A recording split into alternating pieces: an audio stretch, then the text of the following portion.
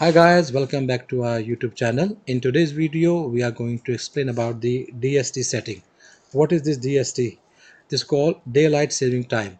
Normally what happens in UK, last Sunday of the March month, clocks normally move forward by one hour and uh, similarly last Sunday of the October month, clocks uh, move backward by one hour. So what happens in our dv on our DVR or NVR, so people, a lot of people complain about the one hour time issue because they forgot to set their DST timing, you know, DST setting.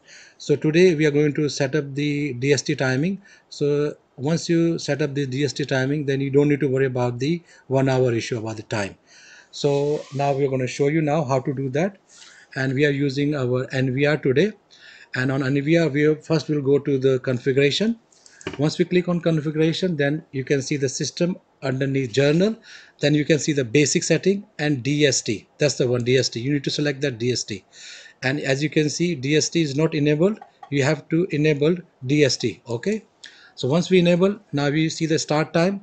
The month we have to change as a March month and it has to be the last. And has to be the Sunday not Saturday Sunday. And then you select number one. Uh, okay number one then after and then you select October month last and a Sunday yes and we have to select two here. Then the DST by showing you have to make it 1 hour 60 minutes and then apply. So now what will happen?